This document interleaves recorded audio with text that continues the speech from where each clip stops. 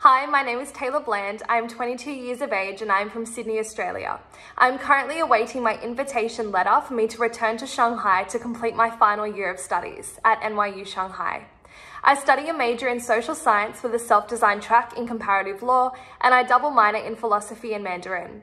I'm also the current student body president, the global vice chair, and also have a very avid interest in the performing arts. When I was eight years old, I wrote into my local newspaper about my ambitions to become Australia's Prime Minister. My time at NYU Shanghai has only just scratched the surface of the knowledge and understanding I wish to have of China in regards to public and legal policy, as well as trade relations with its neighbours, specifically in the Oceania.